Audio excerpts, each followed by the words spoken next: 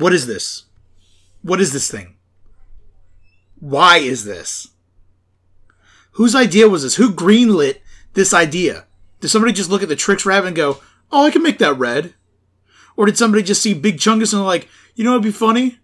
If we made that the next Pokemon. No, this is a terrible idea. And you know it's already going to be a firefighting type. And we've already had. Hold on. Okay, Google. How many firefighting types are there in Pokemon? According to Nintendo fandom, Too many! Way too many firefighting types. And you know it is because it's got the stupid anime bandage on its face.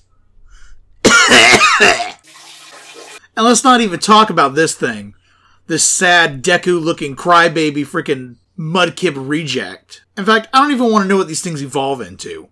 They're just depressing. They make me so, so angry. We waited so much time for a new game, and it's not a remake of Diamond and Pearl. But that's okay. That's alright.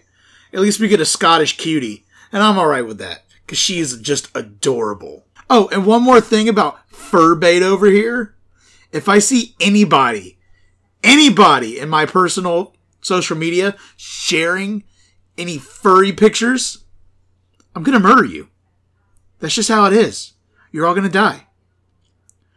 I'm gonna open your mouth and tell Sobble it's ugly, and it's gonna just cry and drown you in your sleep. There's only one Pokemon in this game that I like so far.